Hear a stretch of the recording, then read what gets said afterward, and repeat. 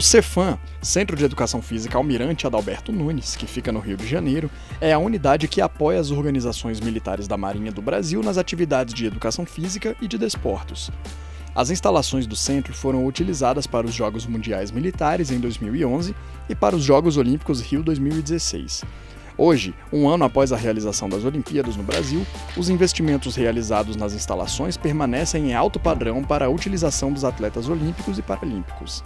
O almirante Pedro Tuluá, comandante do Cefam, explica o que ficou de legado na unidade. Um deles foi a construção desse Centro Nacional de Levantamento de Peso Olímpico.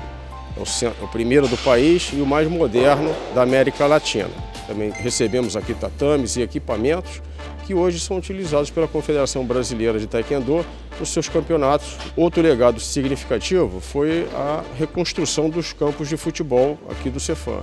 E também, poderíamos até dizer que é um, um outro legado, que tudo isso também ajuda no campo militar o fomento a, a rigidez física do combate que é necessário aos nossos militares. É, é essencial para alto rendimento, nos dias de hoje, uma estrutura como essa. Nós ficamos muito orgulhosos de saber que aqui no Cefam nós temos excelência, não só de atletas de alto rendimento, como de estrutura de treinamento. Estou treinando bastante, como vocês estão vendo aqui, uma, uma enorme de uma, de uma, uma estrutura muito boa, então estou me preparando bem aqui com a equipe militar, agora para o Campeonato Brasileiro, entendeu? E futuramente o sétimo Jogos Mundial Militar, que vai ter agora, e futuramente uma, uma Olimpíada. Né? Perto das Olimpíadas a gente não pôde treinar no outro centro de treinamento que é, que é onde foi sediado, então a gente estava treinando aqui. Então acho que esse suporte de, de estrutura é muito importante pra gente. A gente treina de manhã e treina à tarde. E durante esse tempo, né, no horário de almoço, a gente também precisa dar uma descansada.